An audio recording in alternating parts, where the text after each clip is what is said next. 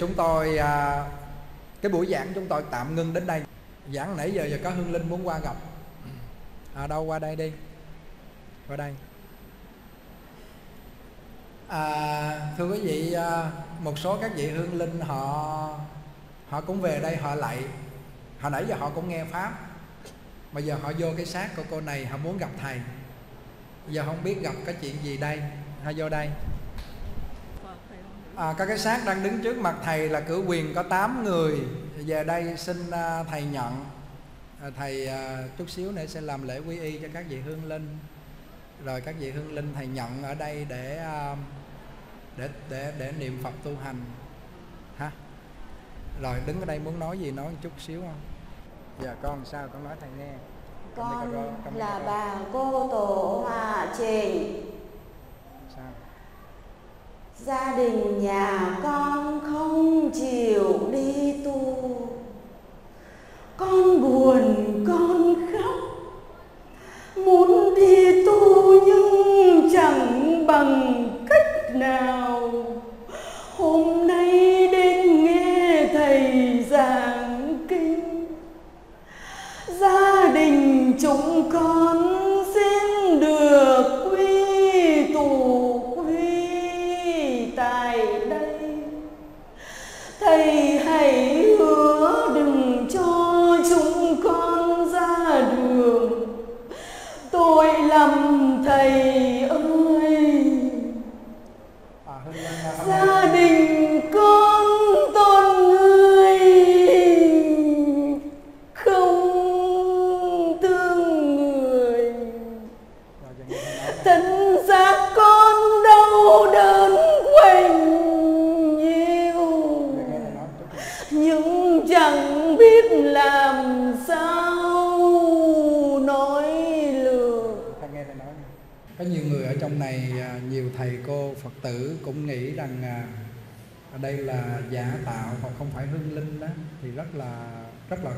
trên cái chương trình hoàn pháp của thầy. Và thầy muốn hỏi hương linh là tên gì, bao nhiêu tuổi vào cái xác này để thầy biết nha. Con là bà cô tổ hòa trình Với thân xác này mang tam vong linh. Thứ nhất, Trịnh Văn Tuyển Thứ hai Trịnh Thị Ngựa Trịnh Thị Ngưỡng Thứ ba Trịnh Thị Ngải Thứ tư Ông Cố Trịnh Văn Mẫn Và bà cố Nguyễn Thị Mận anh trai không chịu đặt tên. Anh trai thứ hai, Trịnh Văn Đức. Con hài nhi của thể xác này là vô danh. Kính thầy là tám vong linh. Cộng cộng cộng thêm con cũng muốn tu hành. Xin thầy hãy cho con quy Dòng tộc Hòa Trịnh hôm nay đến đây Để thưa thầy cho chúng con được quy tại chùa này. Và lần sau có lễ, xin mời bà con. Bà chính thi giảng phải lên trên này quy lạy. Ta sẽ tha thứ vì vợ này suốt ngày chê bai phán nhị đi đâu cũng nói rằng tin nhưng không tin nói nhiều. Vậy là thầy à, tin bởi vì do hương linh nói à, à, tám uh, người có một thai nhi vô danh thì thầy đặt cho thai nhi đó là diệu âm là tên của một vị quan âm bồ tát. Sáng mai có một danh hiệu, nhất tâm lệnh lễ nam mô diệu âm quán thế âm bồ tát. Và tất cả mọi người, nam là diệu âm đức thọ, nữ là diệu âm liên tình phải đặt pháp danh trước cho các vị hương linh. Thầy à, nghe thầy rất là cảm xúc vì thầy thấy à, hương linh đã đã nói bằng tấm lòng thật của mình. Cho nên thầy tin, cho nên giờ đây thầy à, sẽ làm lễ quy y luôn ha dạ. Tốt quá. Thôi được rồi. Thầy cảm niệm công đức. Dạ. Xong rồi trả cái xác cho họ và để ở đây tu ha. Con thương cái lễ tháp này lắm. Bây giờ con thương cái xác này đó thì con không có được theo phật. Bởi vì con thương cái xác này là cái xác đây là cái xác người còn sống mình phải trả cho họ còn sống gọi là âm theo âm mà dương theo dương. Mà con phải niệm danh hiệu Phật Di Đà thì con mới giảng sanh. Còn con kẹt trong cái xác này là con không bao giờ giảng sanh làm sao con siêu thoát con đã về quy y rồi mà con phạm vào cái giới là mượn xác mà người ta không cho, gọi là ăn cắp.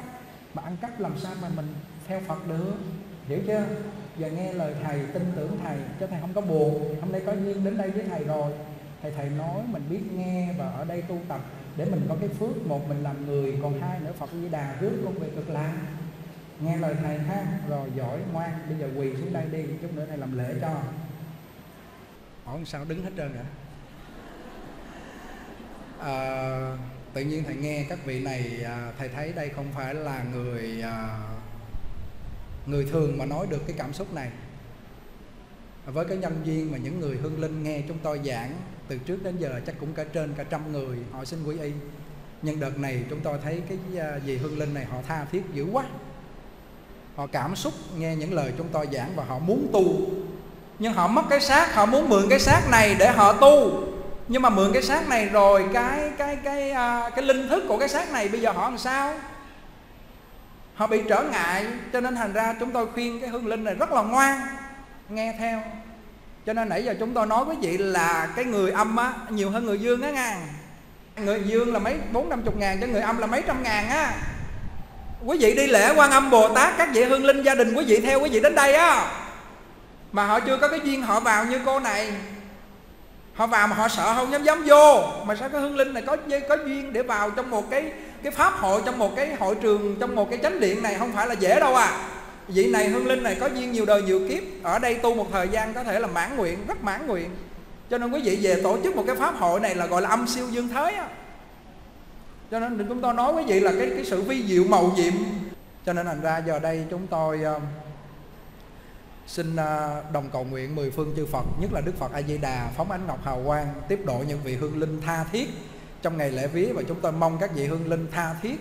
Sáng hôm nay chúng tôi lạy 500 danh hiệu thì các vị hương linh này cũng lạy 500 danh hiệu với chúng tôi để gieo duyên với Đức Quan Âm Bồ Tát đã rước vãng sanh về Tây phương cực lạc. Chứ còn cái xác này mà mình muốn làm lại làm người nó cũng khổ lắm. Bản thân thầy là con người, là thân nam mang thân tu sĩ mà thầy cũng muốn vãng sanh sớm chừng nào tốt chừng đó mà bây giờ hương linh nương gá vào cái xác thân thì nó rất khó vãng sanh. Kẹt trong cái xác thân nó khó vãng sanh. Vì vậy thôi, hôm nay cái nhân duyên rất là thù thắng và hương linh đang ngồi đợi chúng tôi để quy y. Thì tất cả mấy phật tử chúng ta đều quỳ lên hết, quỳ lên chắp tay trang nghiêm. Ha, quỳ thẳng lên chắp tay trang nghiêm, ha. Để chúng tôi cùng quý vị, chúng tôi đọc trước quý vị đọc theo sau. Những vị à, đang ở dưới và tất cả mọi người, toàn thể mọi người ở trong nhà đứng trong nhà đục mưa hoặc bất cứ chỗ nào, đồng quỳ xuống, đứng ngoài đường cũng quỳ cho chúng tôi, hoặc đứng ở dưới sân cũng quỳ cho chúng tôi. Quỳ để làm gì? Quỳ để thành tâm cầu nguyện cho những hương linh của gia đình của mình. Mà quý vị mới thấy người thiệt việc thiệt đó nha. Mới thấy người thiệt việc thiệt đó. Trên một cái pháp hội như vậy, chúng tôi tổ chức là có cái sự gia trì của lâm thần hộ pháp. Và các vị hương linh họ đến đây họ tu quá ngang. Gia đình quý vị đến đây tu á cái lợi lạc nó thù thắng lắm quý vị à. Mà hầu như những pháp hội lớn nào chúng tôi thấy, nhưng mà tám cái pháp hội đến hôm nay, pháp hội thứ chín, là cảm được cái pháp hội này, cảm được cái tâm của chúng tôi. Mà nãy giờ chúng tôi giảng hai tiếng đồng hồ mà cổ nói rằng về sau mà đến đây pháp hội là hương linh phải lên trực tiếp trên này để nghe pháp. Dễ sợ Bây giờ đây là một cái cái lúc mà chúng tôi cảm nhận rằng các vị hương linh có lợi ích do tám cái vị hương linh này đi vào trong cái thân cô này mà nói một cái cảm xúc mà chúng tôi nghĩ không phải là cô này có tự bị đặt ra được. Cho nên có những người người ta không tin người kêu thầy, ông thầy giác nhàn bịa đặt kêu hương linh nhập đồ này nọ cho có tiếng tâm. Chúng tôi không có cái ý niệm này. Ngồi trước tam bảo không bao giờ dám có ý niệm này đâu à. Ý niệm tà này là coi chừng mình không thành tựu được con đường sứ mạng để mà hồng pháp của như lai cũng như trên con đường mình tu tập đâu à. Đây là những cái cảm xúc của họ mà chúng tôi trắc nghiệm qua từng tên từng người nếu mà không có tám hương linh thì làm sao cô này có nói được tới tám cái tên liền như vậy? Chúng tôi nói cho quý vị xác minh lại là gia đình quý vị đang theo quý vị để tu á. Còn quý vị đi quýnh bài là gia đình cũng theo quý vị đi quýnh bài á, đi tạo nghiệp cũ, đi tạo nghiệp xấu á. Quý vị đi ăn chơi nhậu nhẹt, gia đình quý vị cũng đi ăn chơi nhậu nhẹt á nha quý vị hiểu không à? à khi đến chùa quý vị mới thấy cái lợi ích nó thù thắng lắm nha còn có nhiều người đến hoài thấy bình thường không có gì, chứ mà quý vị đến chùa là mà đã đã đã tin Phật phải nghe mấy thầy giảng được rồi là quý vị thấy nó có cái thù thắng lợi ích dữ lắm à. Không phải lợi ích một mình mình đâu à. À cho nên chúng tôi cảm xúc quá cho nên chúng tôi mới nói lớn tiếng này à. cảm xúc lắm. Không biết chúng tôi có duyên với các vị hương linh mà mỗi lần mà họ được như vậy là họ mừng dữ lắm quý vị. Bây giờ họ mất cái thân rồi mà. Họ đâu nói mình được đâu. Họ nói mình không nghe mình nói họ nghe. À, là họ thấy mình mà mình không thấy họ. À, quý vị thấy pháp, pháp hội không? Những người mà bây giờ đang đứng ở phía dưới đường á, quỳ cho chúng tôi hết đi. Đang đứng ở nhà đó trong nhà đục mưa đang nằm á, ngồi dậy quỳ hết cho chúng tôi đi. Những giây phút này bây giờ quy y cho các vị hương linh đi. Hồi nãy giờ họ cảm được cái lời giảng chân thật của chúng tôi á. Những người mà đang đứng ở dưới bếp cũng quỳ hết đi để tha thiết quy y cho các vị hương linh mình mà không phải chúng tôi muốn nói như vậy được mà do các vị này họ quá tha thiết họ muốn tu đi. Họ nói có một người trong này không tin không tin. À. bây giờ chúng tôi à, đọc cái à, nghi thức quy y của hòa thượng tịnh không trước quý vị đọc theo sau nha. Đọc cho lớn lên nha.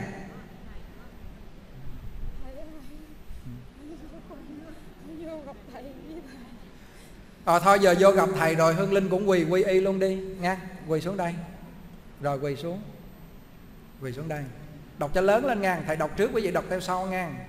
Có một cái pháp hội quy y như vậy là không phải dễ nha quý vị nha. Cái nhân viên quý vị lớn lắm gọi là trăm ngàn ức kiếp hôm nay mấy quý vị mới gặp á nha. Người còn sống cũng như hương linh đó nha. Trăm ngàn ức kiếp hôm nay mới gặp á. Quý vị đọc cho lớn lên nha chúng ta đọc trước quý vị đọc theo sau nha các vị hương linh tám vị này đại diện một người đọc cho các vị kia đọc xem sau ha. Rồi. A xà lê tồn niệm. Con đệ tử diệu âm. Kể từ hôm nay, thân mạng còn sống, cũng như các hương linh. Hương linh thai nhi đã qua đời xin quy y đức phật a di đà lượng túc trung tôn. Xin quy y pháp. Ly dục trung tôn. Xin quy y tăng. Chư chúng trung tôn. Rồi cúi xuống lạy phật một lạy đi cúi xuống lạy luôn. Hưng linh lạy đi, hưng linh hưng linh lạy đi. Lời giỏi quá lạy xuống. Nếu hôm nay ông cụ á nghe mà không có vô xin quy y á ha. Thì như vậy hôm trước hứa với thầy sai rồi, tức là ông cụ không muốn ở chùa tu. Ông cụ muốn đi về. Cho nên ông cụ không muốn vô. Ha. Còn nếu ông cụ muốn vô để mà xin quy y tại chùa thầy thì thầy làm lễ quy y. Còn không thì thôi, không có chuyện gì xảy ra. Giờ hỏi là làm sao? Cô là cô hay là ông cụ nói nghe coi. Linh là người huế mất bao nhiêu năm rồi? Như là 10 năm hay sao thầy tại hồi đó con bị tai biến thành là con không nhớ cái khi à, dạ khi mất vợ còn không vẫn bây giờ vẫn còn thầy. Vợ còn tên gì? Vợ là Nguyễn Thị Gái. Nguyễn Thị Gái đang ở đâu? Ở ở Gia Lai Biển Hồ thầy. À Gia Lai Biển Hồ thầy dạ. dạ. Rồi à, Hương Linh bị tai biến mất à, như vậy rồi mãi đến hôm nay sao chưa có đi tìm một cái thân nào khác hoặc giả là mình có thể là về cõi Phật như thế nào sao? Mà bữa nay còn cái thân này vậy 10 năm mà chưa siêu thoát lý do. À, thưa thầy à, coi như là cái cô này với con cô này là vô trong nhà của của, của Hương Linh niệm Phật. Là à. vợ Hương Linh đâu xong rồi dạ là nhờ vô nhà niệm Phật. Coi như cô này là cô nể cô nể dâu của của của cái cái người vợ cái Hương Linh này. Bây giờ vô vậy rồi cái cái cái người mà cái cô này có có ở đâu?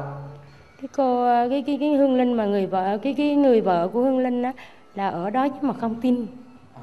và coi như là con muốn về thầy con coi đĩa của thầy con muốn về đây để hương linh cũng coi dạ. đĩa được hả? Dạ con lên con bắt sát bắt sát mở con nghe. Bắt sát mở nghe. Mở nghe kinh vô lần thọ nữa. à, nghe thầy giảng nó thích quá bắt dạ. sát đưa qua đây.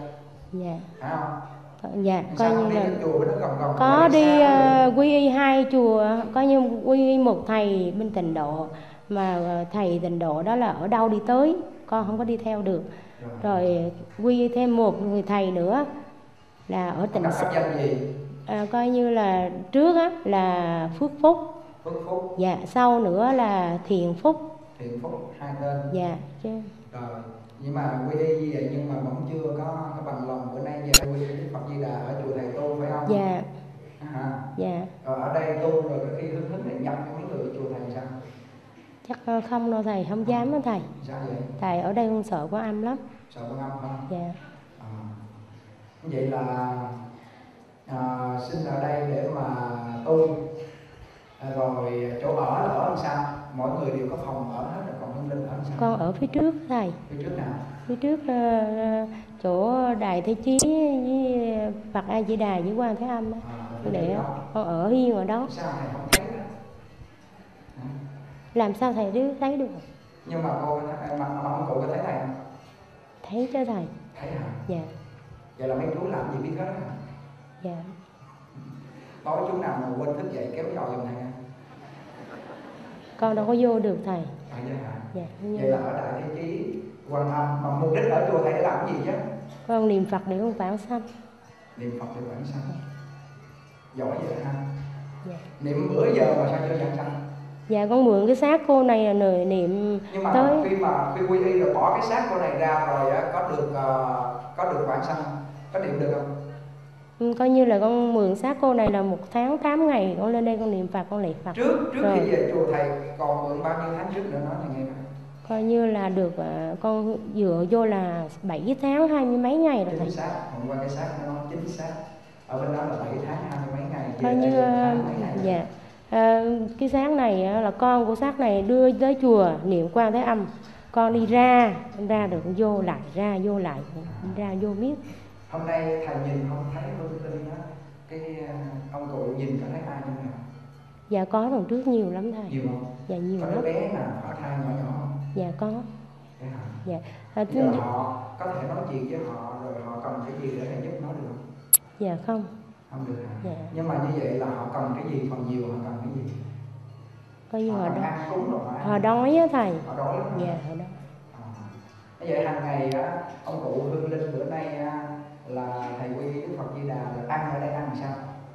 thì ờ, chiều thầy ờ, đặt ra đó xong rồi thầy kêu rồi tụi con tới ăn À. đông lắm Vậy rồi ở đó có xài tiền không? dạ không Không xài tiền. chỉ ăn rồi ờ, niệm phật ờ, ăn chứ Phật cho dạ không chứ xài tiền. Dạ. Vậy là thầy đỡ tốn tiền. dạ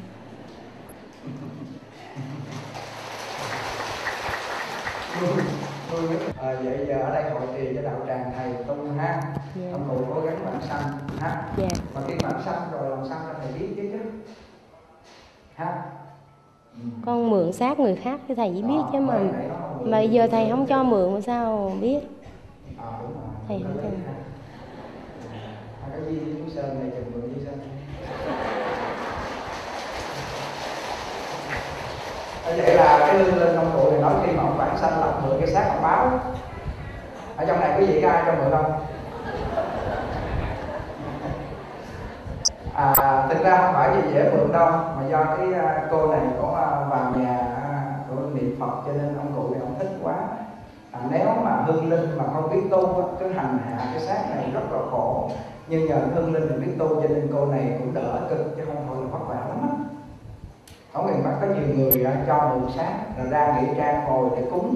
Đồ hồn rồi này nọ không nên nha. Đừng mình chưa đủ lực đừng có nên như vậy. Thầy không dám cho mượn muốn cho quý vị. Ha? À, người nào xác đó chứ đúng không? Rồi giờ Hương Linh nói với thầy hôm trước chủ nhật hôm nay quyết định chưa? Quyết định là xin quy y là tình nguyện hay là thầy ép buộc? Dạ tình nguyện thầy. À, tình tình nguyện chứ không phải là thầy ép đúng không? Dạ tại vậy vì là không có án thù mà lại là cảm ơn thầy phải không? Dạ. Rồi vậy tốt quá rồi. Bây giờ nói một câu gì khuyên mấy người gì đó tu học làm sao? Hương linh nói giùm thầy vài câu. Về đây ăn chay rồi bây giờ nói làm sao cho các người gì đó người ta ăn chay giùm thầy? Thầy nói hoài có nhiều người chưa ăn chay được. Nếu người nào có duyên thì họ tu chứ mình nói cái gì? Khuyến khích chứ. Ông cụ khuyến khích giùm thầy vài câu hả? Hương linh cái xác này yếu lắm thầy xác yếu nó Dạ.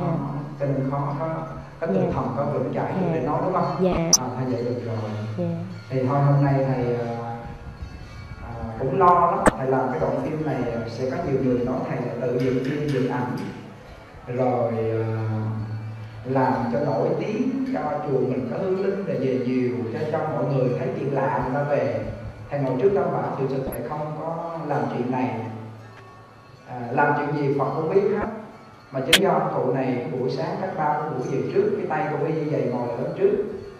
Mà xin quy y cho nên thành ra thầy kêu quy y cho xong đi. Hương linh không chịu kêu để ngày chủ nhật mới chịu hỏi sao? Kêu còn thương cái xác này xin thêm vài ngày. Đúng không? Đúng bữa nói vậy đúng không? Dạ. Đó, chứ không phải thầy bắt cái hương linh này để ngày chủ nhật để thầy biểu diễn thầy quay phim thầy có làm kiểu đó. Toàn bộ chùa thầy là gì? Là tùy duyên tự nhiên cái duyên nó đến chứ không không có phải bắt buộc hôm bữa hầu như là thầy muốn kêu ông cụ này quy y liền cho xong. Bởi vì khi nhập về cái xác nó mệt lắm.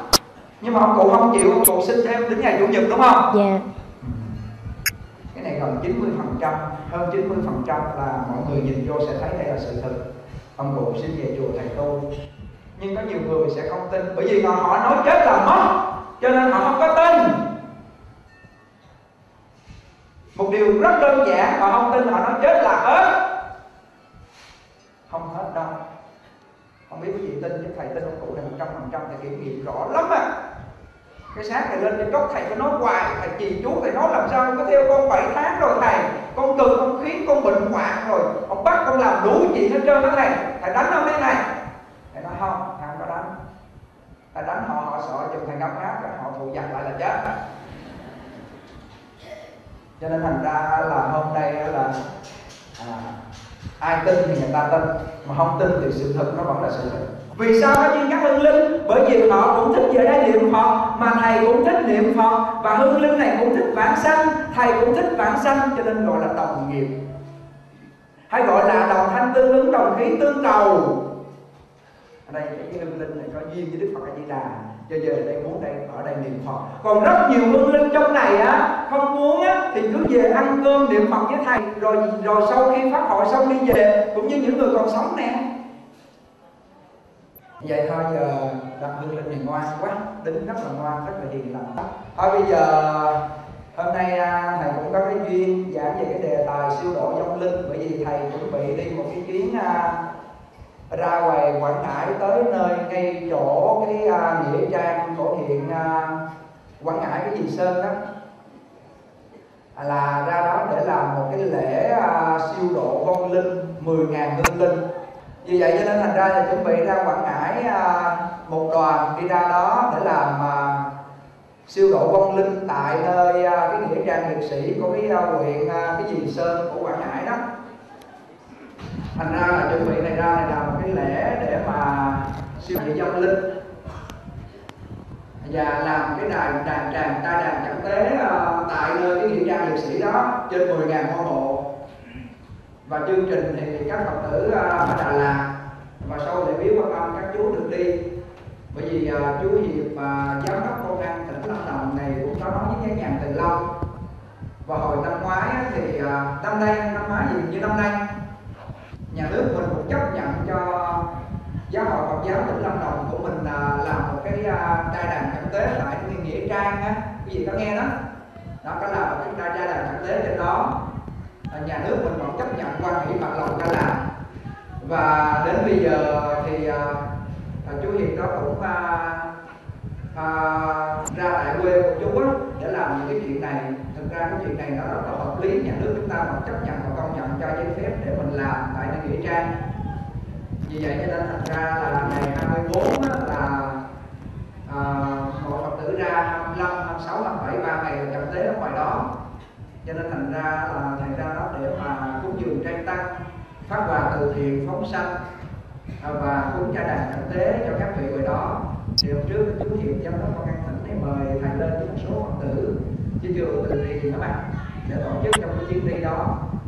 Đó thì uh, thầy sẽ làm cái băng này để thầy mang ra thầy cho mọi người biết ở ngoài uh, quảng ngãi để người ta biết rằng là siêu độ vong linh tức là có vong linh cũng như vong linh đứng tại nơi pháp của chúng ta là cụ 73 tuổi chứ không phải là không có làm cái chuyện mà làm à, không thấy mà làm dĩ nhiên không thấy mà có. Cho nên mỗi lần thầy giảng những cái đề tài siêu độ vong linh thì uh, những hương linh người ta rất là quan hỷ có cười khóc nhưng mà cũng như đó rất là đau khổ. Ha? Thôi hương linh về cái góc này để chuẩn bị làm lễ quy y nhé dạ con tên gì thầy? Pháp danh diệu âm đức thọ. Dạ con ờ, quy y phật a di đà phật ờ, thích ca là là phước phúc hả thầy? Đúng rồi đức phật di đà là diệu âm thôi bây giờ muốn thêm là diệu âm phước phúc cũng được. Dạ. Lấy tên cũ tên mới ha. Dạ. cho nó hay tâm cổ giam duyên dạ ha. dạ. Ừ. tăng là mới cổ là xưa ha. Dạ. rồi hai tên diệu âm phước phúc ha. Dạ. Rồi vậy ha. Dạ. tại vì linh à, đứng ở đó đi đứng xích xích cho chúng xích ngã ra xích không qua cái sát Sáng lên bất ngờ nha. trên ha chú sơn mà cũng dạng dữ ha rồi. Đây là một gia đình mà lúc trước cũng giàu có do giết heo cho nên có tiền. Sau khi cái nghiệp nó tới rồi, tiền cũng đi hết mà bệnh, gọi là tiền mất mà tật mang gọi là tiền mất mà tật tật bệnh mang trong người. Hôm nay biết quay đầu tu hành, cho nên thành ra nó có được một cái phước báu gặp được pháp hội. Ừ, thì chú này ông nói, thưa thầy, hồi nhỏ giờ con đâu có khi nào lên ngồi bao nhiêu ngàn người này con rung thì không sao, cứ ngồi đây chút xíu là hết rung còn rung không? Còn hả? Hết rồi hết rồi. Hết luôn rồi. À, bây giờ thầy cũng muốn à, gia đình nói đến cái hoàn cảnh khi mình gặp cái khó khăn như thế nào để mình phải tạo cái nghiệp giết heo trong bao nhiêu năm ha? Gia đình à, à, khi mà tạo cái nghiệp giết heo như vậy đó giết những loài súc sinh như vậy nó gặp những cái nạn gì vân vân. Thầy à, muốn à, muốn nghe thực tế và trực tiếp à, từ nơi chị để nói ra ha. Và xin trân trọng mời chị ạ.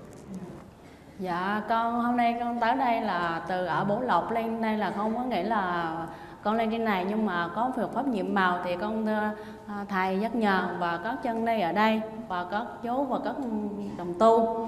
Thì con là Đinh Thị Kim tiền năm nay con 42 tuổi con làm nghề heo năm nay là 9 năm rồi. Thì à, sự việc hồi xưa còn con làm vườn thì nó cũng khổ cực xong rồi ông xã con đi mua heo thì thôi thấy heo nó rẻ thì mình gì mình làm. Thì lần lần mình làm lên á một lần thì nó cũng có được có một tí tiền và dần dần mình bắt đầu có lòng tham mình nó lên. Thì mình cũng có làm làm bắt đầu nó có tiền thì không có tiền đó thì vợ chồng bắt đầu là từ từ đó là bắt đầu là sanh ra đủ cái việc trong gia đình, là có là việc kia, việc nọ. Thì là vợ chồng nó không có hòa đồng với nhau, tức là cãi nhau, có hồi đánh nhau ông xã nhà con thì có hồi ông lấy vô còn ruột con vậy nữa đó. Cái việc nó làm heo là nó ra như vậy thì tất cả là điều là mình xót sanh nó thì nó cũng là nó cũng có nghiệp chướng rất là nặng. Thì con hôm nay thì à, không có không chùa chiền gì hết từ hồi giờ cũng không biết chùa chỉ có biết chợ với heo vậy thôi chứ không có biết gì mà uh, Phật pháp gì hết trơn. Thì một hôm ông có một người bạn với một người chị thế là rủ ông xã con đi chùa à, đi lên thầy giấc nhàn thì nói là nghe băng đĩa con cũng không coi luôn không gì nhìn tới cái băng đĩa gì chỉ có biết là mình chỉ biết có con heo thôi với là mình thôi chứ không biết cái gì. Thật sự như vậy. Thì co băng đĩa thì nói chung là có sự thật thì nói vậy. Thì là co băng đĩa thì ông xã con đi trước chứ con thì cũng không đi. Thì ông lay trên này thì là ngày vía quan âm thì ông cũng đúng lại 500 lại ông về ông đem đĩa về con coi. Coi thì cũng nhìn thoáng chứ cũng không coi nữa thì cũng nói chung là trước đây á, thì con làm nhà xong thì con cũng thỉnh thật quan âm vừa tát về thờ. Nhưng mà ông xã con thì con cũng tính thì thờ Phật thì nhưng mà không biết thờ Phật mình niệm Phật như thế nào, chỉ cũng biết mình để Phật lên rồi mình đốt nhang mình dâng hoa quả vậy thôi chứ cũng không biết gì. Ông xã con thì cũng ngon tàn lắm. Cái ngày mà họ đem ờ, máy thầy à, đem ờ, Phật về mà nhà đó mà mà mà để thỉnh Phật, ông vị Phật á chồng con còn không ở nhà để ông vị nữa, còn đi ra một quán ngồi đó là không có tin gì Phật pháp hay không có tin gì.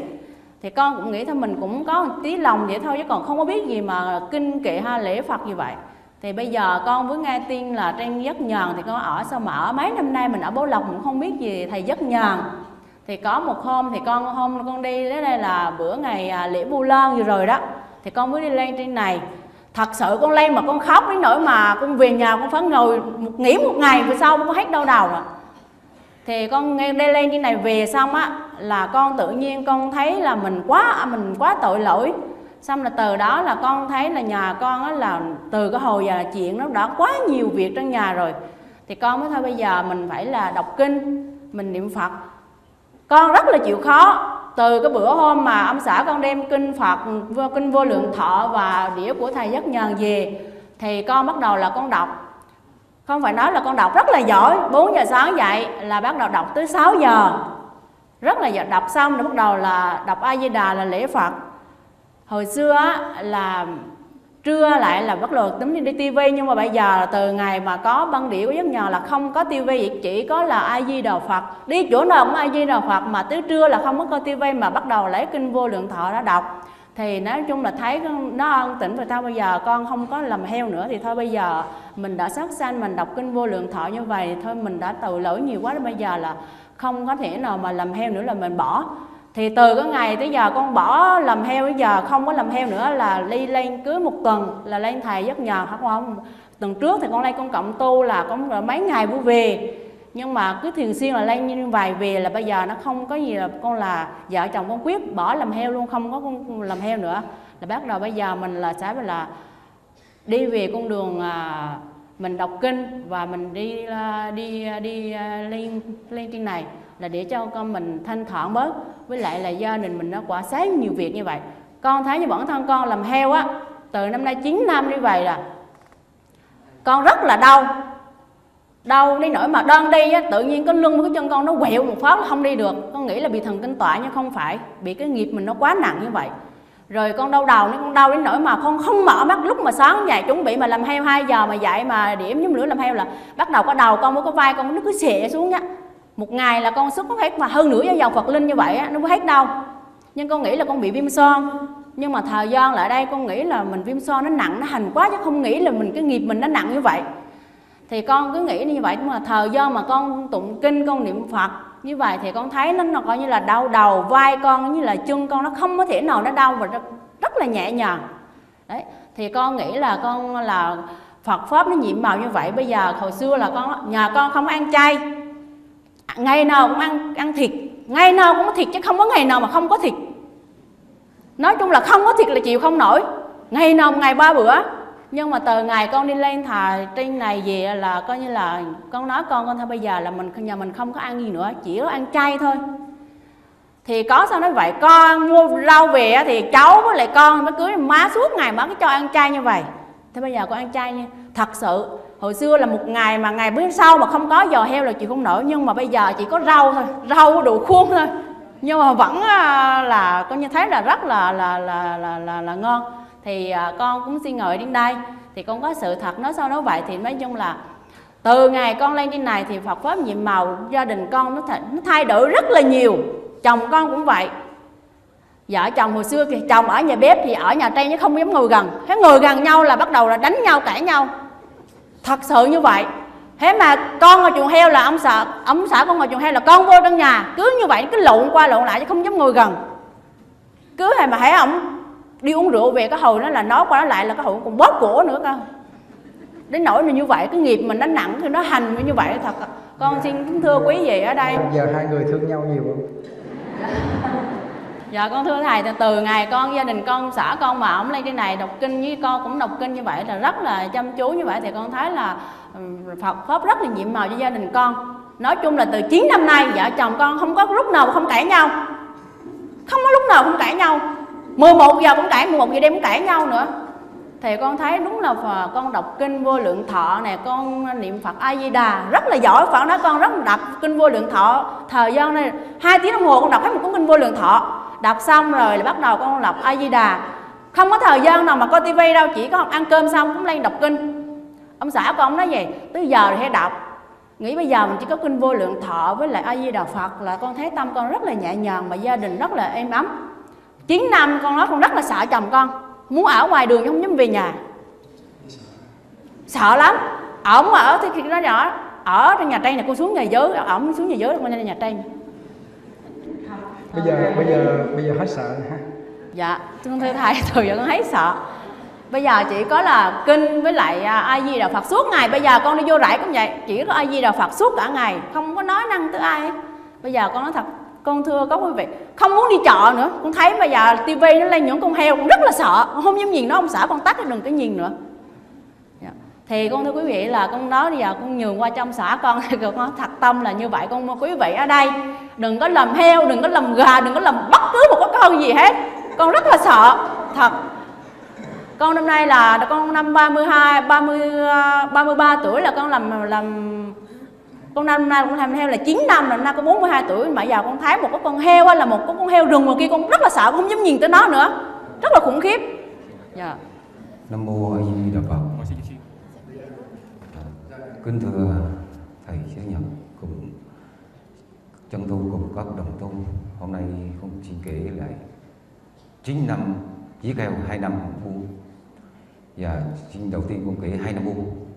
Và kính thưa quý vị, trong buôn heo thời đó thì heo có 10 ngàn thôi mà tụi con đi với đồng bọn với ba người là một tóp hoặc hai ba bốn người với một tóp. Mà con cái gì à, mua 10 ngàn bán 10 ngàn vẫn có là chia nhau và quý vị biết, cái gì không? Tức là tụi con phải âu thuật âu thuật cái căn thì mới mới có là được. Đó là một tội của con đây là hôm nay con này cũng sám hối và thật như vậy. Dạ mua 10 ngàn bán 10 ngàn vẫn có làm đó là thời hai năm con đi buôn heo. Dạ. sau này con thấy à, làm nghề heo này nó cũng dễ kiếm là bạn bè cũng đồng động viên thôi con vô mổ đi thì đầu tiên con cũng mổ mổ nhỏ không con và sợ quá. Thấy ngày kiếm hồi đó là 150 ngàn rất là lớn. Nếu mà nó còn từ hồ hồi đó nó nằm khoảng bốn năm chục thôi. Mà mình làm một con heo thì kiếm 150 ngàn rất là lớn. Sau cái lần vườn sau cái lần bắt con kia thì rất rất là lớn rất là hom lúc đó bắt đầu cũng nhầu vô thấy đồng tiền đúng là mình thấy thom lòng thom bắt đầu cũng nổi lên. Đây à, thưa các uh, vị đồng tu đây đây ra nghề thì ta nghề cũng rất là cứng thì cái xảo mua bán là rất là cứng có như là buôn mua là mua vo hay là mua kia mua nọ thì một tay cũng rất là cao. Thành ra nhiều lúc mà một bè rất là nhiều cho nó hom nó còn đâm vô không còn đam mê cực kỳ. Mà hồi đó nó hăng say lắm nếu mà vô mà nó rất là hăng say bắt đầu cái đầu mối nó tròn vô lấy nhiều. Thấy mình cái giá cả phải chăng chung là dễ chịu mà heo là heo ngon nữa thật là bắt đầu mối lớn tròn vô mình nhiều thì bắt đầu mình cứ tăng tốc mỗi nhiều. Ủa, một ngày hồi đó một sáu con năm con. Đó, có ngày ít ít thì hay là ba con mà nó liên tục và chín năm như vậy. Trong à, đầu tiên tôi ba năm đầu cũng mạnh sau này nó cũng dính mấy con heo năm móng, quý vị biết heo năm móng chưa? Heo năm móng là như thế này cái chân trước nó nó có một chân chỗ đây bốn móng rồi nó có một chân móng chỗ này. mà bà xã thì buổi giết xong đúng ra nếu còn sống á, chưa giết nó mà phát hiện trước thì có khả năng là mình trả cho nhà chủ mỗi bên chịu một nửa tiền. Giả sử 4 triệu thì mình một triệu một nữa bên kia triệu nữa Đấy. mà lỡ giết rồi thì người ta không đồng ý trả cho người ta thì buộc mình phải làm luôn.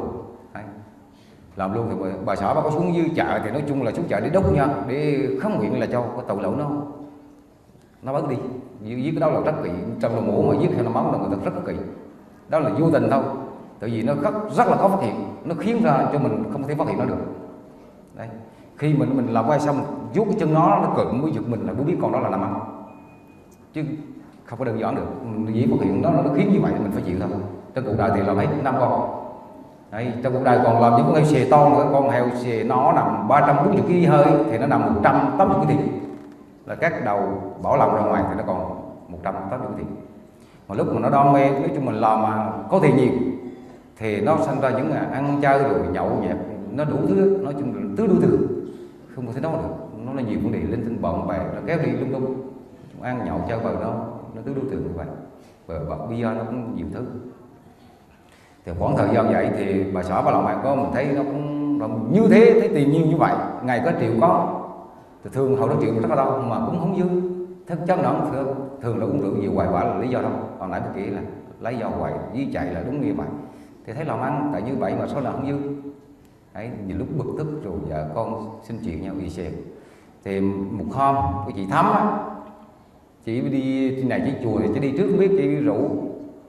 Thường hơn chú chú hưng mấy chú có đi chùa giấc nhờ không? Nó đâu? Nó đức chậm. Ở đi đi đi thử chú biết coi. Có đưa cũng băng chim xem. Mình kêu này ghét là chuyện thường. Đùa phim ảnh bây giờ nó ghét là chuyện thường. Số thuật là đấu được thường. Đó, thì lên lên đúng trong cái ngày năm trăm lại đó. Nó lại về cái đùi chị thấm cho thỉnh cho mấy cuốn kinh về đọc đọc theo của lý. Chứ cái này của lý. Cô gọi là trong kinh cô dạy là thấy sớm mà rà chậm không được. Mình cũng như mình thấy tiền. Tại sao mình không hưởng được cái tiền đó? Mình làm như thế tại sao mình không hưởng được? Cái đầu bắt đầu suy nghĩ đọc nhiều đọc xong. Tự nhiên cái tâm thì nó nó là hiền lại. Đúng bây giờ cái tâm rất là hiền chứ không còn hung như ngày xưa nữa. Đấy rồi bà xã bà thấy vậy. Bắt đầu bà cũng đi. Đó mới mới đi sau này. Dạ là, là đừng có đợt mà đi với chị thắm là bắt đầu là bỏ luôn không làm nữa. Không bao làm nữa thì bà xã còn làm thêm mấy bữa. Mình bỏ bao làm coi coi vậy chứ bà, mình bỏ bà không làm hay được. Đấy, chứ không đơn giản bà đâu. Rất là lượng. Đã chó là không làm thì bỏ là làm tự làm làm luôn chứ không phải là ba ấy vẫn làm được tí. Bây giờ làm điện nó rất là dễ, rất là nhẹ nhàng, chứ không có gì. Thành ra nó rất là nguy hiểm. Nhưng đường bà vẫn làm được. Nên cái cuộc đời làm heo thì đây cũng biết sợ. Dù có ông anh nữa. Ông anh, ông là bố bồng một kia thì ông bố bồng ông chở bà chị đi chơi. Ông tự nhiên ông té xuống, đập vô đống đó để người ta làm đường đó. Bây giờ ông mất một miếng như đây. Ông anh rỉa mất miếng như đây. Bây giờ ông đi đi cùng cùng miếng trong chắc mà chết, không chết. Một câu giờ hiện nay cũng còn một cái đó là cái sự nghiệp ông là ông giết xuất, sắc. sanh. Nên đây có nghĩ là rất sợ giật mình là sợ nhiều mảnh đời nhiều người rất sát sanh. Thì đây cũng rất là sợ thật sự là rất sợ. Chỉ cầu mong cho mấy đứa con gái bây giờ xin ờ, quy động tôi ở đây hai đứa con gái nó có chồng là rất là mừng. Nhưng cái tâm cuối cùng nguyện cho tụi nó hạnh phúc và vui vẻ đừng có có gì đây cho chịu hết. Chứ lỡ rồi thì bây giờ đừng để cho con đi gánh. Đây rất là sợ rất là lo. Vừa đầu đứa con nó cũng sinh ra sài gòn thì bà xui bà sài gòn nó rất là tôi mới tu lâu rồi ban chơi trường luôn. Ba lên gặp thì đứa con nó sinh rồi sinh mũi gì rồi cũng rất sợ. Nói chung là vợ chồng cũng rất sợ. Rất ở đây này vẫn cũng niệm cho nó nó cho nó trâu chạy cho nên sợ là nghiệp tất cả điểm mình gánh mình để con gánh. Dạ nó mua phật. À, dạ bình tĩnh thầy dạ tại có hiệu quả đúng là nếu con thấy đặt bên cái vườn thọ mà ban điểu của thầy nếu đúng là Phật pháp rất nhiều mà bây giờ con nó có tiền thì con ít có thật có lòng tham con nó mất hết. Không có tham như ngày xưa nữa không có nghĩ tiền bạc nó, nó lớn nữa. Nhưng tự nhiên con rất là nhẹ cái tâm con nhẹ lắm nó không có nghĩ gì mình tiền kia tiền nọ hay là kia nọ. Đầu óc nó ra vô tư hơn. Chứ hồi xưa là con thường đánh vợ con lý do có tiền. Cũng gì đồng tiền mà ra giờ cứ đánh đập làm như vậy ăn nhậu chơi bời đánh đập vợ con liên tục. Đấy nó ghi nó, nó, nó cái tâm nó có nặng nề đầu óc nó cứ nặng nề nó sầu não. Bây giờ con thấy nó rất là nhẹ nhàng. Đúng ý bây giờ là rất là nghèo nhưng mà con thấy rất là nhẹ nhàng người người con nó phấn chấn lắm. Không có gì mà đi suy nghĩ cho nó nhiều cái kia nào đến nặng nề cái đầu óc con nó khó chịu. Ấy. dạ con dạ nam mô di đà phật. À, rất là ghi nhận cái à, tấm lòng của hai vợ chồng. Cái đặc biệt của hai vợ chồng là gặp được bộ kinh vô lượng thọ. Và chú này à, lạy hết 500 lạy luôn. Tức là chưa biết tu ngày nào chưa biết gì hết cả mà lại 500 lạy và chú nói rằng là ba cái phim ảnh này là ông ghép vô mà. Nên cuối cùng lên trên này thấy thực tế người thiệt việc thiệt cho nên cảm động. Đây là một cái uh, gia đình khi những phật tử nghe vào đó nghe vào băng đĩa hoặc nghe trực tiếp đó thì uh, mình cũng là một người uh, gián tiếp tạo nghiệp rất lớn. Vì nếu mà hôm đó hai vợ chồng giết mà không ai mua thì ngày hôm sau chắc không dám giết nữa. Vì có ai ăn đâu mà giết có bán được đâu mà giết. Và đặc biệt là nhà ngày nào cũng ăn thịt một ngày ba buổi, không buổi nào mà không có thịt. Vậy mà bây giờ chỉ một cái rét qua ăn chay. Như vậy là hôm nay anh trước pháp hội là hồi nãy hứa với thầy là anh phải ăn chay trường, mới trở lại à, trả được cái nghiệp của quá khứ nha. Phải ăn chay trường. Riêng phật tử với đó thì không có bắt buộc. Muốn ăn chay, muốn ăn mặn tỳ. Nhưng mà nãy giờ nghe là cũng ớn rồi nhưng mà riêng anh là thầy phải bắt anh ăn chay trường ha. Ừ. ăn không được cũng phải ăn. Bởi vì bởi vì bởi vì cái nghiệp của anh là phải ăn chay trường mới trả được cái nghiệp giết, giết heo phải không?